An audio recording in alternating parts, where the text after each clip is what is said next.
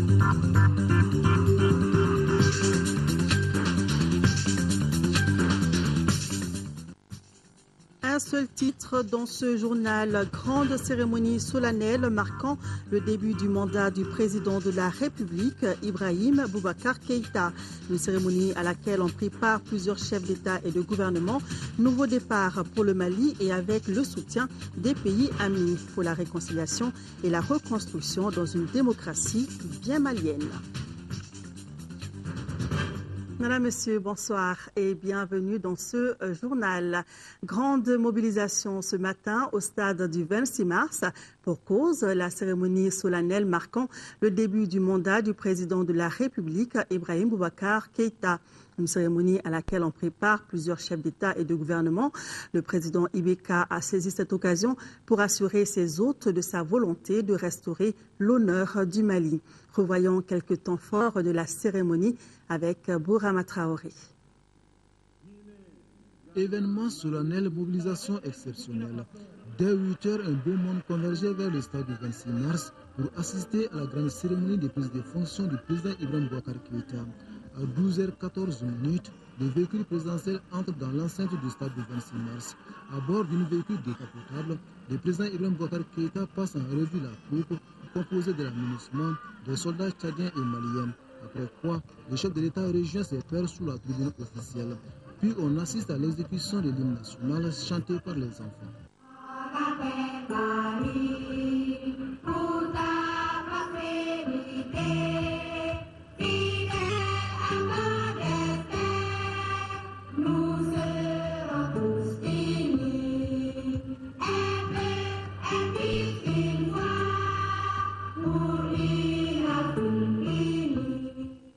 Après l'exécution de l'hymne national, l'assistance a eu droit à un documentaire sur le parcours d'Ibeka. Ensuite, quatre chefs d'État se sont adressés aux Maliens. Il s'agit de François Hollande de la France, Alassane Draman Ouattara de la Côte d'Ivoire, Idriss Déby Itno du Tchad et du roi Mohamed VI du Maroc. Tous ont réitéré leur soutien au Mali pour une sortie rapide et définitive de la crise. Après ces assurances présidentielles, le public a assisté à une prestation de l'artiste Fondane Touré, suivie de celle des masques d'Ogom.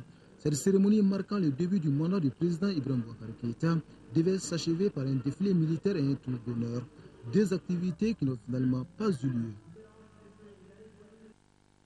C'est un nouveau départ pour le Mali et les soutiens des pays amis pour la réconciliation et la reconstruction ne feront pas défaut.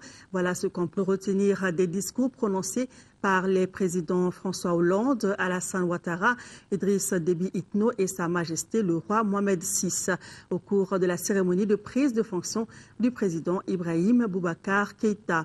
Ils n'ont pas aussi manqué de formuler des vœux de réussite, mais aussi des conseils pour le nouveau président et le Mali. Voyons les points saillants de ces différents discours avec Sidiki Dambeli.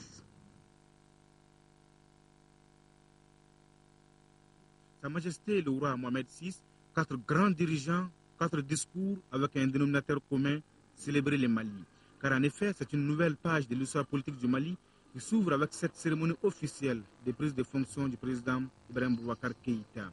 Vœux ardents de réussite, mais aussi des sages conseils, les homologues du président Keïta ont prouvé qu'ils étaient plus engagés aux côtés du Mali et des Maliens. Le chantier qui est devant vous est vaste et complexe. Vous en êtes le principal maître d'ouvrage. Vous n'avez pas droit à l'erreur et vous ne réussirez à reconstruire le Mali tout seul. D'où la nécessité d'associer toutes les forces vives du pays à l'œuvre colossale de la réconciliation qui vous attend. Face à la situation particulière que vient de traverser le Mali, il faut sortir des sentiers battus par des initiatives exceptionnelles. L'union sacrée, la cohésion, tels sont les vœux chers au président ivoirien Alassane Ouattara, président en exercice de la CEDAO, pour qui, je cite, nous sommes tous maliens aujourd'hui et pour toujours. La preuve par la langue. Annie chers frères et sœurs, Ivoiriens ou Coca Faux. Anibara,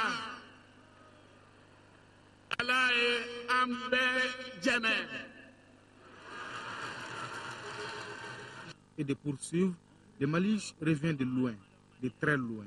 Le retour à l'ordre constitutionnel démocratique du Mali et la restitution de l'intégralité du territoire a été le fruit de la solidarité de la CEDEAO, de l'Union africaine, de l'Union européenne, des Nations unies, de la France, des États-Unis d'Amérique, des pays du Champ, du Tchad, de l'ensemble des pays contributeurs de troupes et de toute la communauté internationale.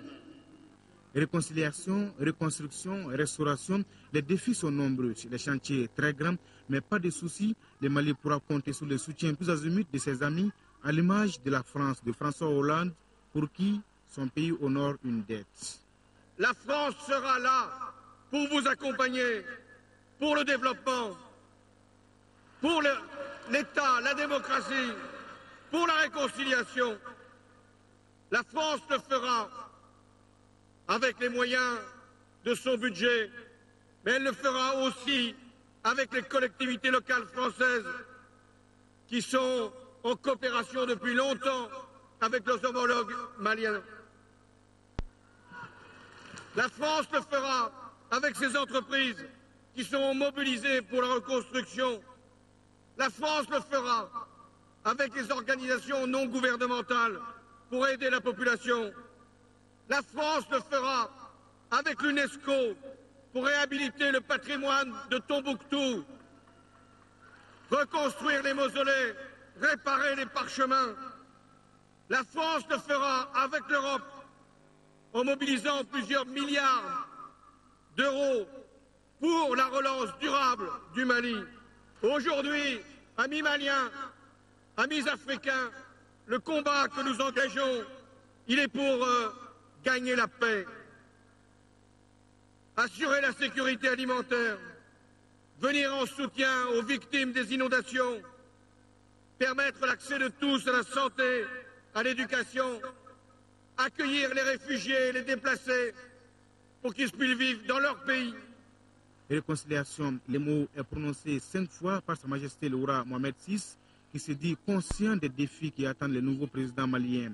C'est pourquoi le royaume chérifien n'entend pas lésiner sur les moyens pour aider les Maliens à réaliser leurs rêves. Je me félicite de la signature demain d'un accord portant sur la formation au Maroc de 500 imams maliens sur plusieurs années.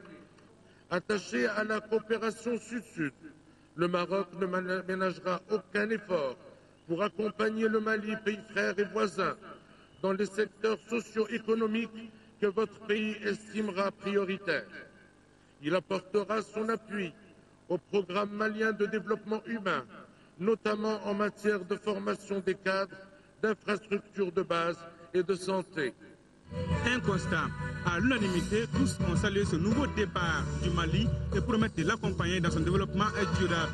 Reste maintenant aux nouvelles autorités d'adopter des politiques vigoureuses en vue de relever les urgents défis de la réconciliation et de la reconstruction nationale. Le président de la République a solennellement renouvelé ses engagements pris lors de son investiture le 4 septembre dernier. Un discours de remerciement certes, mais retraçant les grandes lignes de ses promesses pour un Mali nouveau. Abbas Pambouré Traoré revient sur le contenu de l'adresse du président de la République, Ibrahim Boubacar Keïta. En ces grandes lignes, cette adresse du président de la République, Ibrahim Boubacar Keïta, peut être perçu comme un rappel de propos d'honneur de son investiture le 4 septembre dernier devant la Cour suprême. En cette exceptionnelle journée, le chef de l'État a tenu d'abord, en notre nom, à saluer tous ceux qui se sont dérobés de leur lourde charge pour être témoins et bénir à coup sûr dans la cordialité l'envol d'une nouvelle expérience malienne. C'est là un incommensurable honneur selon lui. Devant son invité d'honneur, le roi Mohamed VI, ses homologues français, africains et autres invités de marque, le chef de l'État a dit, et au nom du grand peuple du Mali, qu'il le respectera et fera respecter la Constitution. Au nom du Grand Mali, le chef de l'État a une fois réitéré notre remerciement à tous ceux-là qui ont désormais lié un pacte de sang avec notre peuple face à la furie des djihadistes. Éternelle reconnaissance à la France, au Tchad, à la CEDAO, à son président et à son médiateur, qui furent d'un apport précieux pour bouter les terroristes hors des deux tiers de notre territoire. Ce n'était pas donné. Le Mali, assurera-t-il, se souviendra pour toujours des actes posés par tous et chacun. Devant ses invités, Ibeka est revenu sur son programme, le Mali d'abord. Ce n'est ni une utopie, encore moins un catalogue de promesses fallacieuses. La nouvelle gouvernance qu'il porte sera nourrie au terreau de l'efficacité. Sa route, précisera-t-il, sera la route du bonheur des Maliens, une balise sécuritaire pour le renouveau.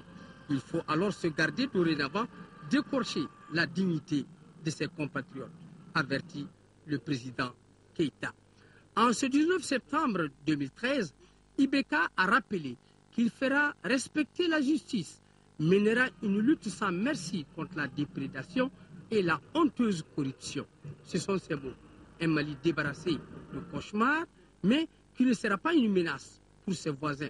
Le président de la République a martelé plus jamais ça.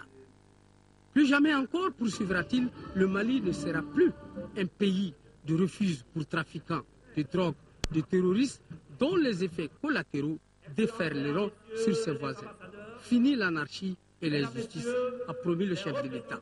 Avec lui, le Mali démocratique revient d'un sommeil biennal pour reprendre sa place dans le concert des nations fortes. Le pays respectable dont il s'engage à construire disposera d'une armée remise en ordre et forte et urgemment. Il a renouvelé son engagement de construire un nouveau Mali. Il a promis et Inch'Allah, il le fera. A-t-il affirmé discours prononcé lors de cette cérémonie. Nos reporters Tessira Dombele et Garibou Pérou ont recueilli les réactions des partis politiques maliens. Sentiment de satisfaction face à une marque de soutien et de reconnaissance de la légitimité du nouveau chef de l'État. Suivant. Tous les chefs d'État ont dit des discours auxquels on s'attendait de toute façon. Le fait qu'ils soient venus déjà, c'est très important pour nous et toute la communauté internationale est mobilisée. Les Maliens n'ont pas le droit de faire des erreurs. On doit positiver tout ça.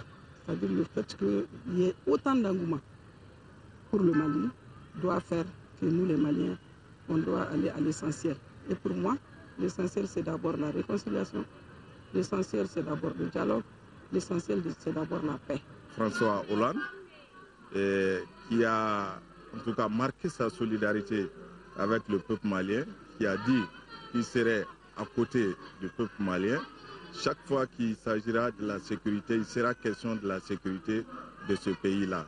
Et ensuite, nous avons vu le discours de Idriss et le président Idriss Déby de conseiller, en tout cas au président de la République, Ibrahim Bouakar Keïta, la solidarité, l'unité, la réconciliation. Et conseil invitant en tout cas l'ensemble du peuple malien à se départir en tout cas des joutes, entre guillemets je le cite, des joutes politiciennes et de se concentrer sur l'essentiel. Tous les discours, ça porte un message fort, un message de soutien, comme ça avait été déjà exprimé par le, au niveau international à l'endroit de notre pays.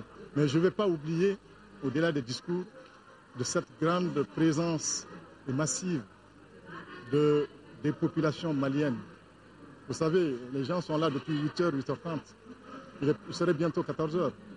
C'est une grande ferveur qui s'affirme et qui en même temps indique également les attentes.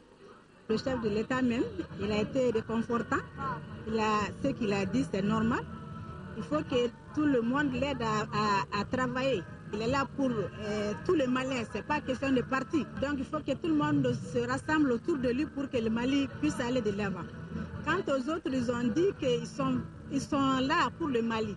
Donc tous les chefs d'État qui sont venus sont venus pour nous soutenir et puis pour nous aider à nous relever. Après les personnalités maliennes, intéressons-nous aux avis de nos hôtes qui, ont, qui sont venus nombreux apporter leur touche à l'éclat de cette journée. Ils sont venus de près de 40 pays d'Afrique, d'Europe et du monde. Tous se sont venus exprimer leur soutien au peuple malien. Après la cérémonie, notre reporter Mamari Kone a recueilli euh, les propos de quelques-uns. Écoutons-les sommes très heureux d'être là et tout se passe bien. Nous sommes vraiment très contents. Et bravo pour le Mali. Le Mali peut compter sur, le Gabon Mais le Mali, c'est très bien qu'il peut compter toujours sur le Gabon. Ben, c'est tout à fait naturel que je sois présent ici euh, à Bamako. Il s'agit d'un événement, comme vous le savez, historique. Le Mali est en train de renaître. Et il est tout à fait normal que je vienne participer à cette renaissance euh, du Mali. Je crois que le Mali est, du retour. Et c'est ce retour du Mali que nous venons fêter aujourd'hui D'abord, euh, c'est pour euh, partager ce moment de bonheur, de joie avec le peuple malien. Féliciter le président Ibrahim Bouakeita, qui a été élu de manière euh, un peu plus démocratique. Et cette journée est une journée de paix, une journée de démocratie retrouvée, une journée d'indépendance retrouvée, une journée de solidarité africaine et internationale. D'abord, euh, c'était un signe d'amitié, de solidarité avec le Mali, après les épreuves que le Mali euh, a connues, et puis aussi euh, d'amitié et de confiance vis-à-vis d'Ibeka, le nouveau président, qui est un, ami, un camarade membre de l'international socialiste, que j'avais eu l'occasion de rencontrer à de nombreuses reprises, et notamment au mois d'avril, lorsque je suis venu ici, et que déjà se préparait la transition démocratique. Je crois qu'après avoir réussi à euh, faire en sorte que le Mali retrouve sa pleine souveraineté grâce à la solidarité internationale. Il faut aujourd'hui que cette solidarité internationale soit aussi au rendez-vous des nouveaux défis que le Mali doit relever, ceux du développement, ceux de la réconciliation, ceux euh, de la reconstruction, de la refondation, comme a dit le, président Ibrahim Boubacar Keïta. Et c'est le sens de ma présence ici, en tant que premier secrétaire du Parti socialiste euh, de France, de dire que nous continuerons à être aux côtés du peuple malien et aux côtés du président que les, citoyens maliens se sont choisis dans une élection euh, exemplaire et que nous continuerons à mobiliser euh, euh, en France l'opinion publique et puis dans toute l'Europe pour qu'il y ait l'appui, la solidarité nécessaire à réussir ces nouvelles étapes qui sont là maintenant devant le Mali. J'ai été émerveillé, pas seulement moi, je crois que c'est l'ensemble du peuple malien. Et laissez-moi vous dire, c'est vrai que je suis le président de la diaspora, mais on était nombreux cette fois-ci à ce rendez-vous parce que tout le monde sent l'engouement. Et nous avons assisté à une très belle cérémonie. Et surtout, ce qui m'a frappé, c'est le nombre important de nos amis. En tout cas, le président de la République a invité euh, ses pères africains et même au-delà. Et il a, été, ils ont répondu à son appel. Ils sont venus, ils ont partagé avec nous ce moment de bonheur. Et c'est des invités de qualité. Parce que comme vous le savez, c'est grâce à eux, en partie, aujourd'hui, que nous sommes, euh, alors, euh, nous avons pu célébrer, n'est-ce pas, cet événement, parce qu'ils nous ont aidés lorsqu'on avait des problèmes. Je pense que c'est une très grande fête pour le peuple malien et pour toute euh, notre union, l'Union économique et monétaire ouest-africaine pour ce que le peuple malien a su faire pour relever ce grand défi qui n'était pas simple, mais je pense que ce défi a été à la hauteur du peuple malien. C'est un honneur pour tout Malien, et particulièrement nous les Maliens du Guinée, d'assister à une investir de cette taille. Nous assistons en même temps que beaucoup de chefs d'État d'Afrique et d'Europe. C'est là vraiment pour quelqu'un qui a connu le Mali il y a 18 mois, c'est un motif de fierté Vraiment, nous sommes très heureux et nous pensons qu'à partir de là, les Mali et les Maliens retrouveront leur place dans le concert des nations. Très content d'être là aujourd'hui. Je crois que ce que Ibeka a fait, c'est une manière et l'hommage rendu par les rois, par les présidents du monde entier. Un honneur d'être là, vraiment, très fier. J'étais très content d'être là et nous sommes tous très heureux de l'investiture du président Ibeka. Clairement, une nouvelle, euh, une nouvelle page de l'histoire du Mali s'ouvre après cette élection qui a été si nettement réussie par tous les Maliens. Voilà, et notez que nous vous proposerons demain l'intégralité euh, du discours du président de la République, Ibrahim Boubacar Keïta, discours prononcé au stade du 26 euh, mars. Et puis les présidents français François Hollande, Idriss Déby Itno du Tchad et Ibrahim Boubacar Keïta ont animé tout à l'heure une conférence de presse à Koulouba. Au cours de cet échange avec la presse, les trois chefs d'État ont évoqué la situation sécuritaire au Mali, dans la bande euh, sahélo-saharienne et dans le monde. Nous y reviendrons d'ici la fin de ce journal. En attendant, trois points névralgiques de la capitale ont attiré l'attention des populations. Il s'agit de l'aéroport de Bamako-Sénou, du stade du 26 mars et du palais de Koulouba. Malgré la journée chômée, nombre de Maliens vaquaient à leurs occupations. Pour autant, la circulation était fluide à ces endroits-là et c'était grâce à un dispositif sécuritaire bien élaboré. Le point avec notre reporter Allo Touré. En cette matinée du 19 septembre, la circulation sur le trajet allant du pont FAD à l'aéroport de Bamako-Senou jouit d'une grande fluidité. Même scénario entre l'aéroport et le stade du 26 mars. Les délégations officielles qui empruntent ce trajet parviennent aisément à leur destination et pour cause. Pour cet événement, nous avons engagé l'ensemble des cinq compagnies du jeunesse. Quand on comprend qu'une compagnie fait environ 200 et quelques éléments, euh, vous pouvez vous faire déjà une idée sur le nombre. Euh, donc, comme je l'ai dit, pour l'événement, nous avons déjà prédisposé des forces au niveau des commissariats de sécurité publique, 13e arrondissement, 7e arrondissement et les autres compagnies de la ville, qui, en cas de, de pépin, doivent intervenir. Il y a un jalonnement très important du domicile du président de la République jusqu'à l'aéroport, de l'aéroport jusqu'ici. Pourtant, à certains endroits, ça coince en particulier à l'approche du stade du 26 mars. Ceci m'a été signalé. Euh, il y a un problème de coordination.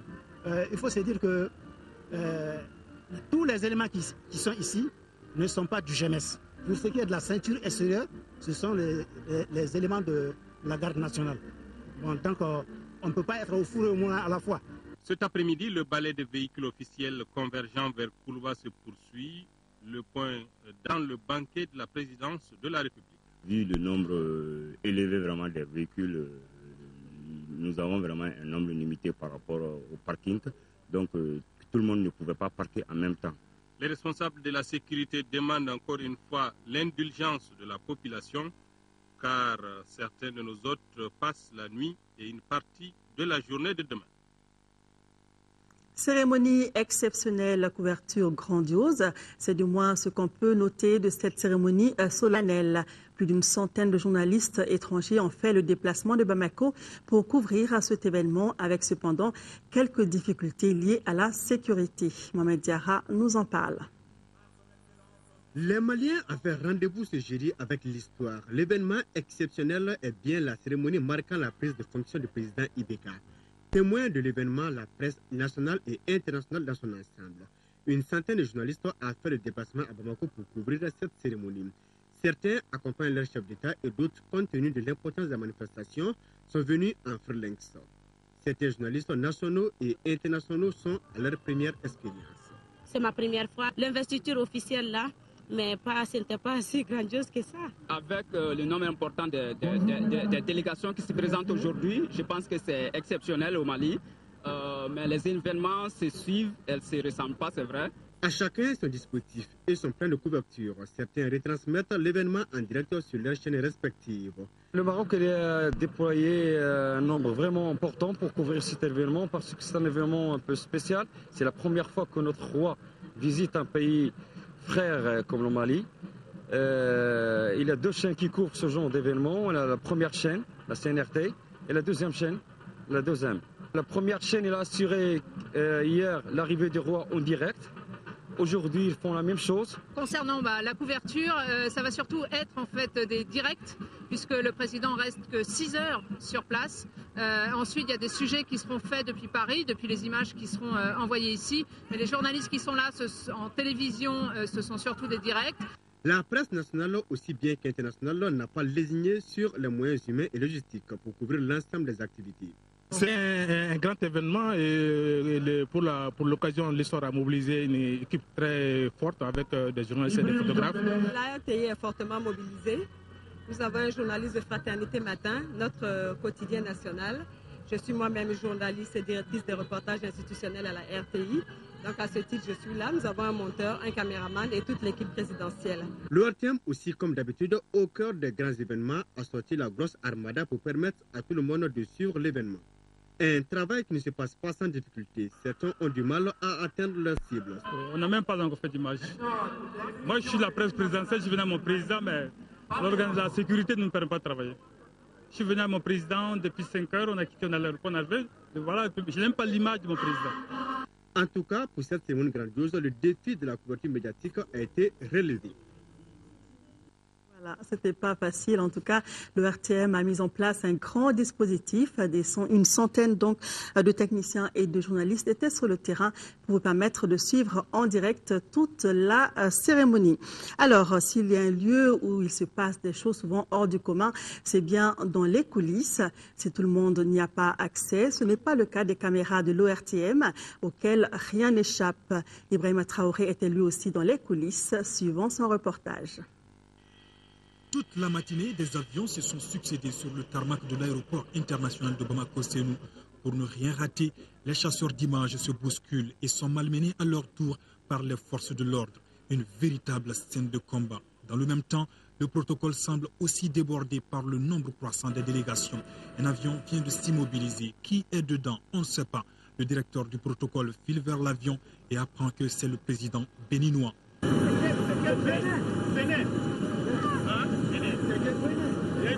L'improvisation était réellement au rendez-vous à l'aéroport. En témoigne ce monsieur qui court à grande vitesse avec un tapis rouge pour accueillir un chef d'État qui vient d'arriver. Et naturellement, ce tapis est nettoyé chaque instant, y compris la voiture du président de la République. Le rythme est infernal. L'effet de la fatigue impose souvent un repos aux porteurs d'uniforme qui se détendent ici sur le tarmac. De l'ambiance, il y en avait également à chaque arrivée d'un note de marque.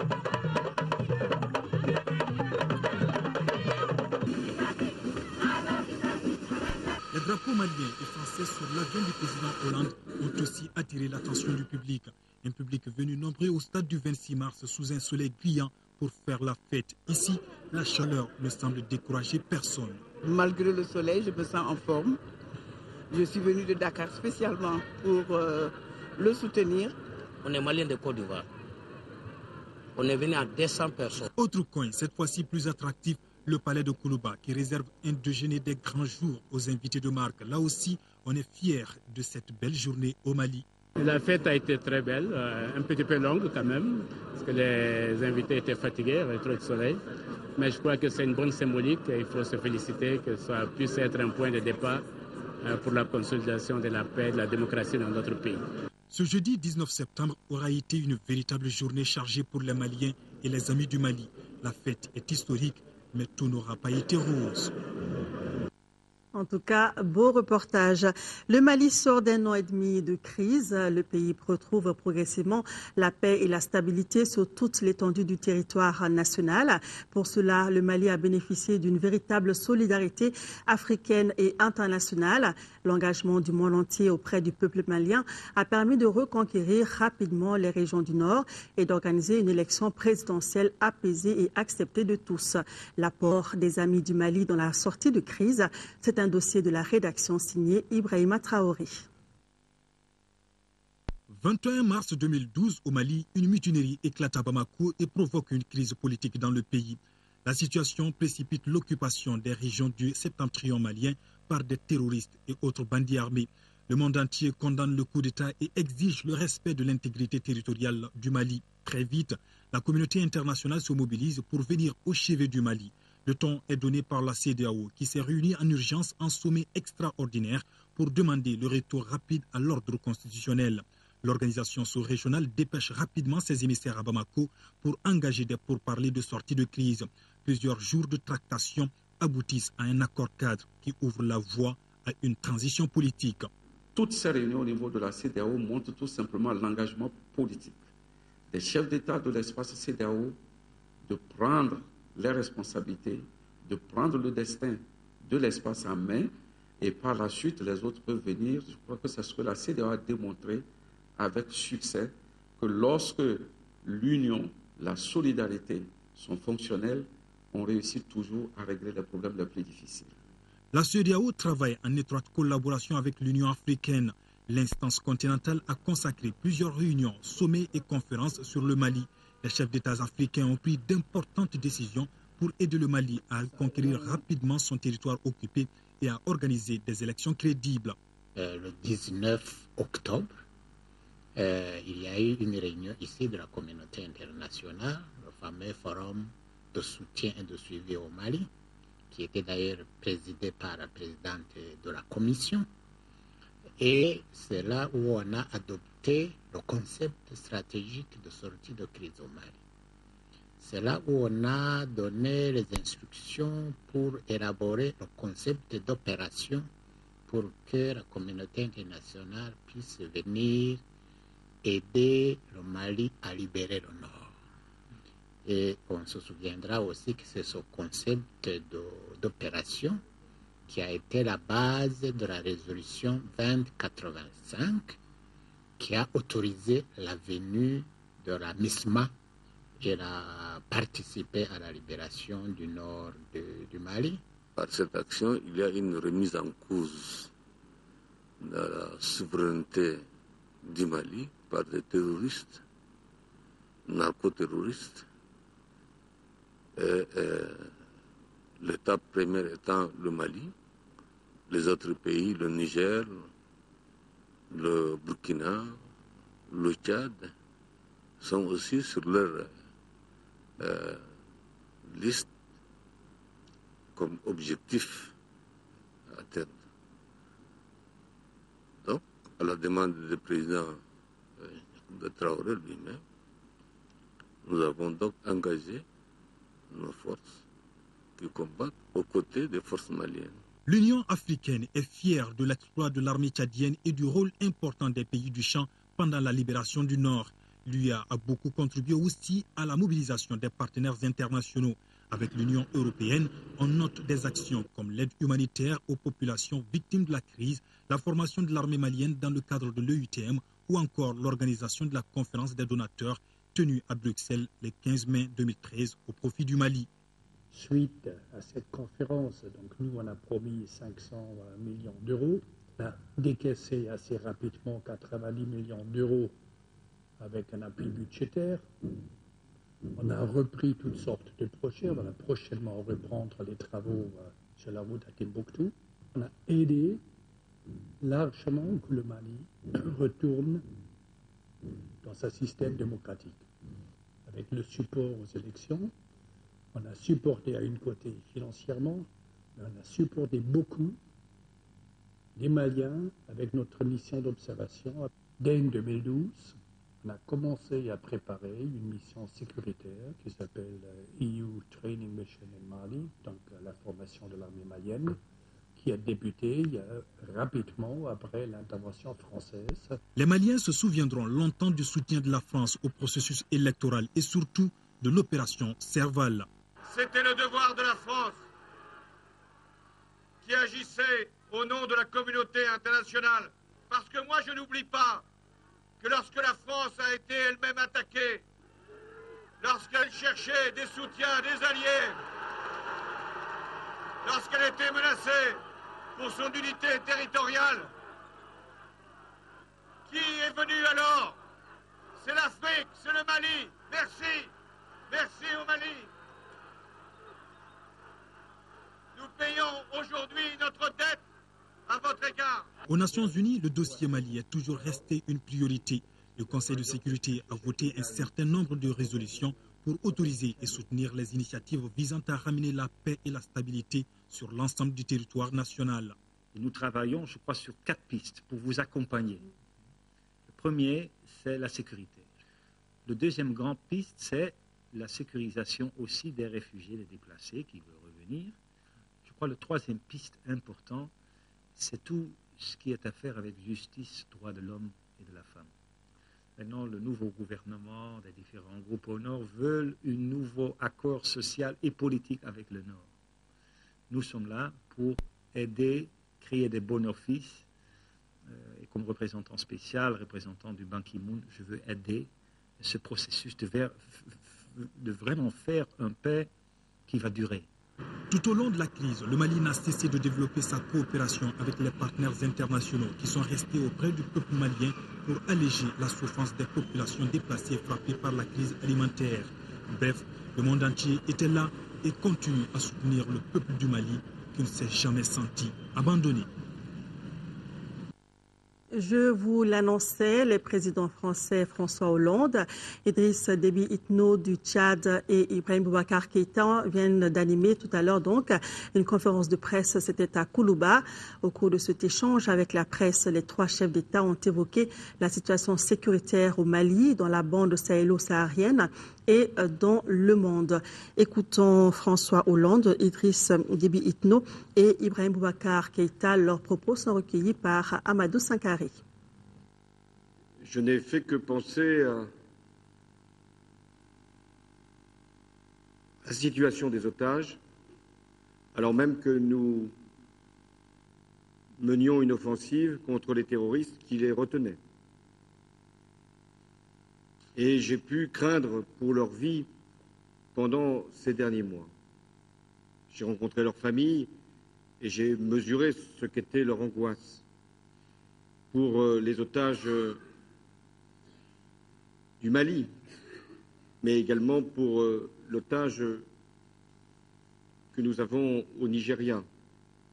Et il y a eu pendant un temps des otages qui avaient été retenus d'abord au Cameroun, puis au Nigeria. Je me suis entretenu tout au long de la journée avec l'ensemble des chefs d'État de la région pour qu'ils nous permettent d'avoir les meilleurs fils, les meilleurs contacts pour retrouver nos compatriotes. Il y a une question qui m'a été posée régulièrement. Est-ce qu'il y aura des forces maliennes à Kidal? J'ai dit oui, il y aura des forces maliennes à Kidal. Elles sont allées jusqu'à Kidal. Elles sont chez elles à Kidal. C'est le Mali. Après, il y a une question qui a été posée, c'est est-ce que vous organiserez des élections à Kidal? Il y a eu des élections à Kidal. Eh bien, euh, nous, nous sommes à la disposition euh, des autorités maliennes pour euh, faire en sorte que tout le territoire malien, donc Kidal, soit sécurisé. Puis le 1er juillet 2013, le contingent tchadien est sous l'ordre du MISMA. Il dépend du MISMA, mais ce n'est pas le ressort du Tchad. Ce qui est arrivé, évidemment, certainement, il y a une. Euh, vous savez que le contingent tchadien, depuis pratiquement 9 mois, 10 mois, travaille dans le nord, une région très austère, très difficile, bien sûr. Ah, donc, euh, ça ne devrait pas être simplement le Tchad qui devrait être là. Il faudra, à un certain moment, le dégager et, remplacer par d'autres contingents qui puissent n'est-ce pas, maintenir, en disons, la cohésion. Le rôle de chaque soldat étant dans cette coalition est important. Donc, euh, personnellement, je ne trouve pas que cette, euh, une situation grave. Je.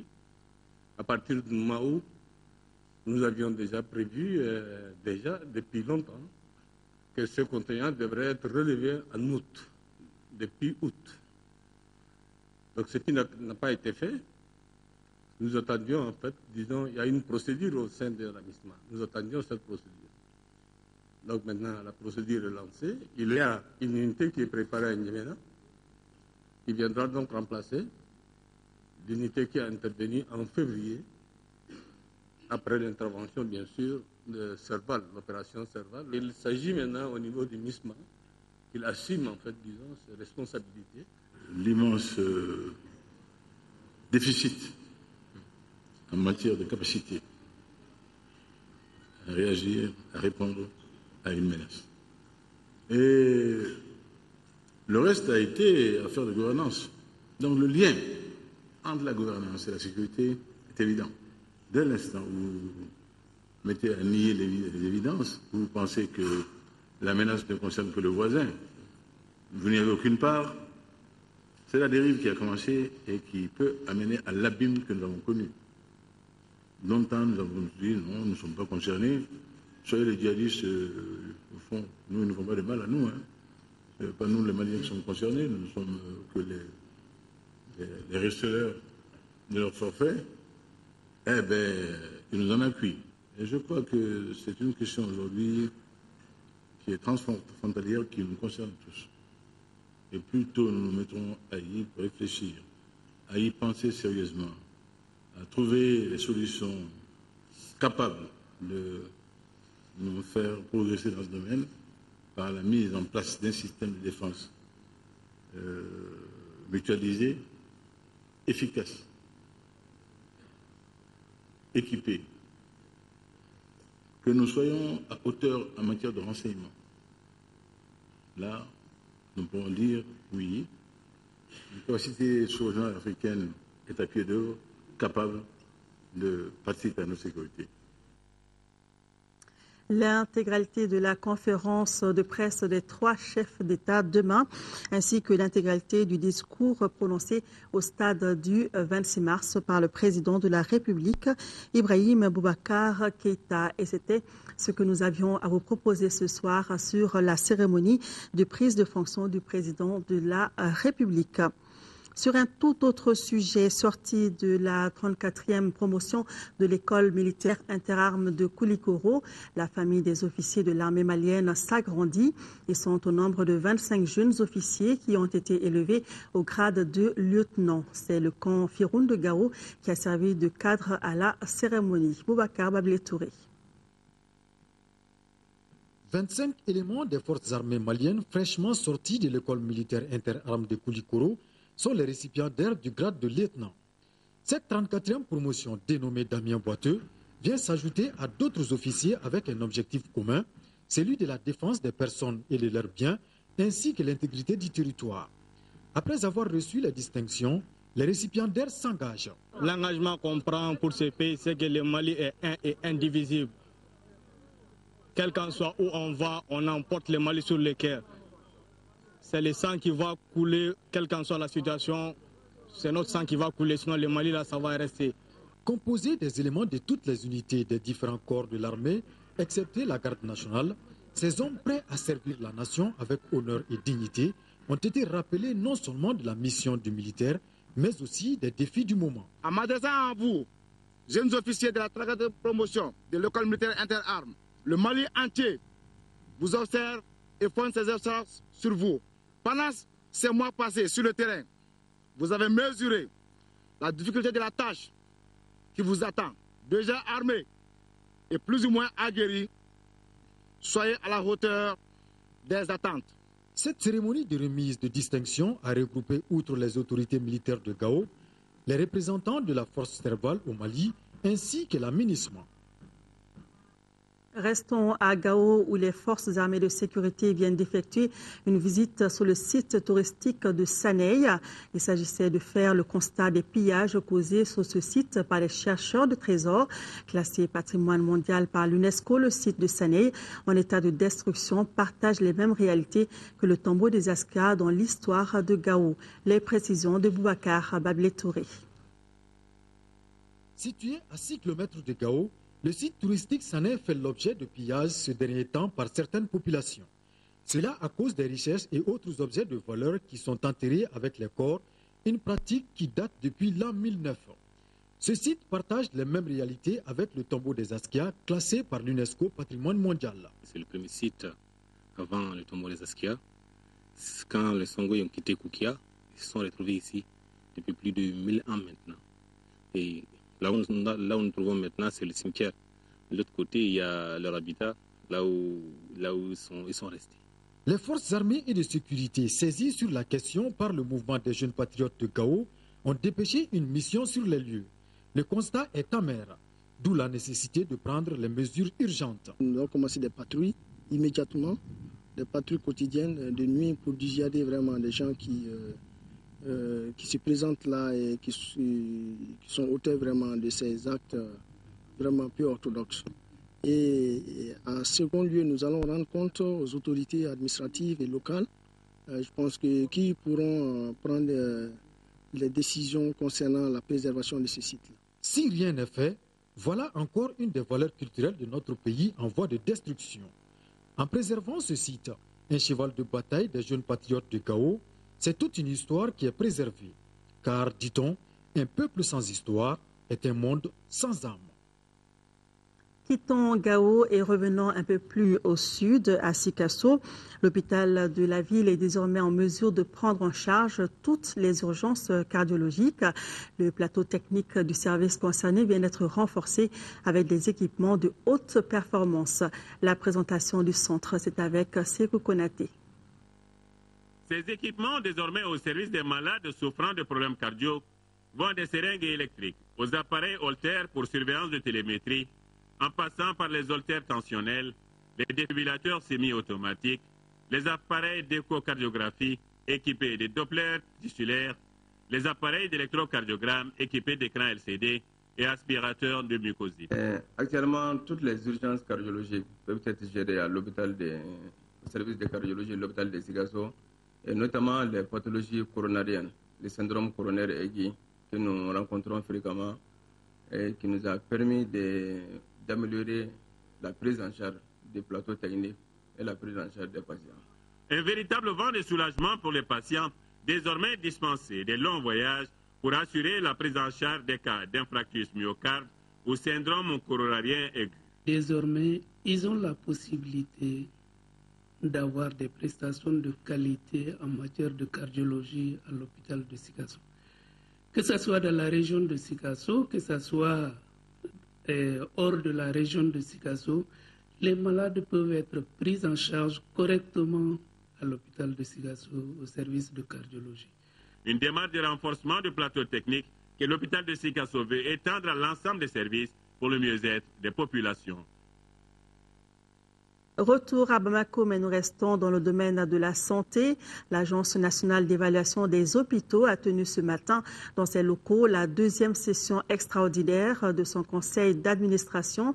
Au cours de la rencontre, les administrateurs ont procédé à l'examen et l'adoption du projet d'établissement et du manuel de procédure administrative. Agibou Koulibaly.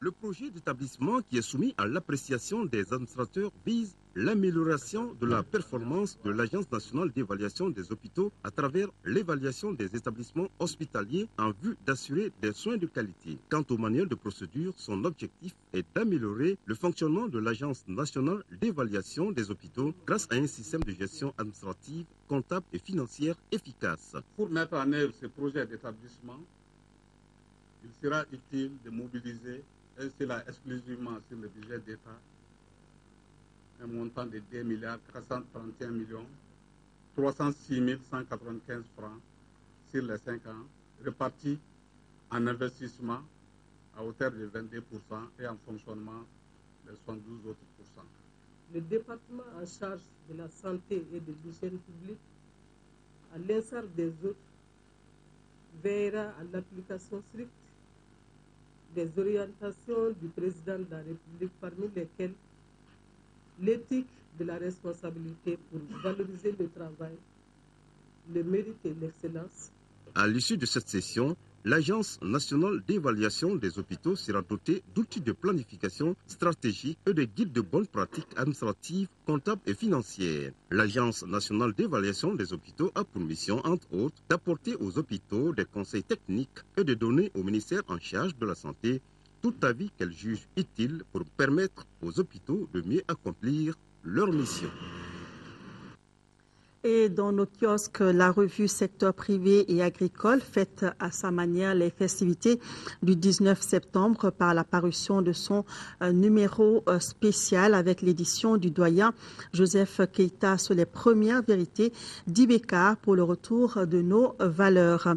De même, vous découvrirez en plaquette détachable sous la plume de Sissé Keita l'ADRS dans la zone de euh, Bafoulabé. Secteur privé est déjà en vente au prix de 1500 francs CFA. Comment réussir la réconciliation nationale après les dures épreuves qu'a traversé notre pays? C'est la question à laquelle s'intéresse ce soir l'interview de la semaine. Hier, Konaté reçoit Cheikh Oumar Diara, ministre de la Réconciliation nationale et du développement des régions du Nord. Entre autres questions abordées, le cas spécifique de Kidal, où le ministre s'est rendu le week-end dernier. L'interview de la semaine qui reprend du service. Rendez-vous donc après ce journal. Voilà, c'est tout pour cette édition en ce jeudi 19 septembre marqué par la prise de fonction du président de la République, Ibrahim Boubacar Keïta, en présence de nombreuses personnalités. Merci à vous de nous avoir suivis tout au long de cette journée. Passez d'autres bons moments avec votre télévision nationale.